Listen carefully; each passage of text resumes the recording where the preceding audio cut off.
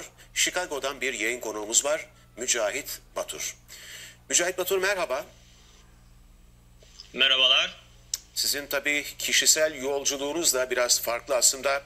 Hong Kong'da e, oturuyorsunuz, ikamet ediyorsunuz ama e, e, önce Kanada Evet. sonra Amerika'ya gittiniz. Evde kal çağrıları oldu. Siz nerede kaldınız? Ee, Ben şu anda e, evdeyim tabii ki. Chicago'dan e, şeye Houston'a geçtim. Daha doğrusu ay sonunda gitmem gerekiyordu ama işte bu durumlardan dolayı erken gelmek zorunda kaldım. Çünkü domestic flight'lar da bu durumlardan bayağı etki- etkilendi. Ve şu anda biz de evdeyiz. Yani ihtiyacımız olmadığı müddetçe dışarı çıkmamaya çalışıyoruz. Gerçi Houston, e, New York ve diğer yerlere nazaran biraz daha geniş bir şekilde e, e, yerleştirilmiş durumda. Yani soci- social distance ister istemez insanlar arasında zaten uygulanıyor. Nüfus Ama, yoğunluğu e, fazla olan bir insanlara- bölge değil anladığımız kadarıyla öyle mi? Yani Houston yok normalde bayağı e, kalabalık bir yer. E, şöyle diyeyim zaten Houston burası Texas buranın e, enerji merkezi diyebiliriz. Yani mesela şöyle diyeyim Chicago'da e, petrol fiyatları 2.40 iken burada mesela 1.90 1.80 galon başına. Biraz daha ucuz. Çünkü enerji e, sektörü burada bayağı şey e, ileri durumda. Fakat şöyle bir durum var. İnsanlar gerçekten e, devletin kendini söylediklerini e, bir şekilde uyguluyorlar. Mesela nasıl? E, ki- e, dışarı çıkmayın deniyor insanlara ve insanlar gerçekten dışarı çıkmıyor. İhtiyaçları olmadığı müddetçe. Sokağa çıkma yasağı yok. Dışarıda polisleri görüyoruz ama e, kimse gelip de size niye buradasın, ne yapıyorsun falan demiyor. Çünkü herkesin ihtiyacı olduğundan dolayı dışarı çıktığını biliyorlar. Ve marketlerde yaklaşık 6 fit denen bir e, social distance uygulaması var. Ve hatta kasiyerlerin önünde sizin duracağınız mekan belli.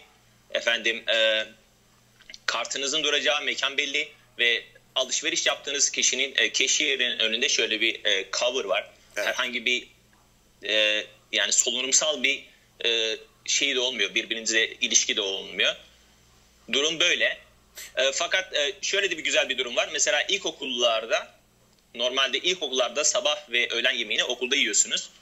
Fakat okullar tatil olduğundan dolayı mesela okullar öğrencileri arıyorlar. Diyorlar ki şu anda durumunuz nedir? Hani çocuğunuz burada yemek yiyor ama şu anda evde siz çocuğunuza yemek verebiliyor musunuz?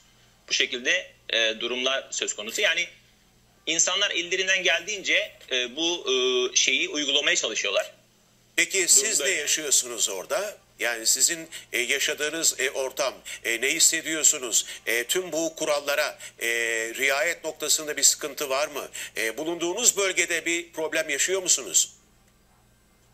Bulunduğum bölgede herhangi bir problem yaşamıyorum. Ben de evden çıkmıyorum açıkçası. İşte uçuş tarihimi erken aldım. O yüzden sadece uçuş tarihimi bekliyorum. Ee, sadece buralardayız. Yani dışarı çıktığımızda market alışverişini rahat yapabiliyoruz. İnsanlar e, gerekli mesafeyi aralarında koruyor.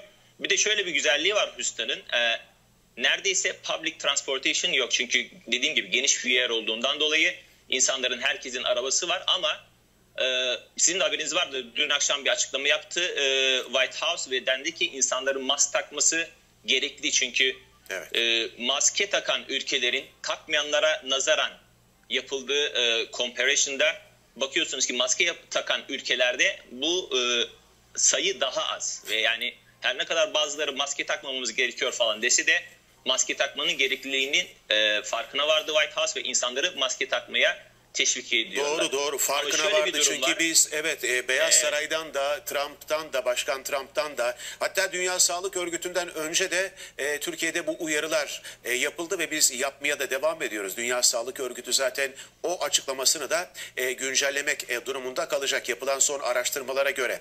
Peki çok teşekkür ediyoruz e, verdiğiniz bilgiler ederim, ve paylaştıklarınız için sağ olun.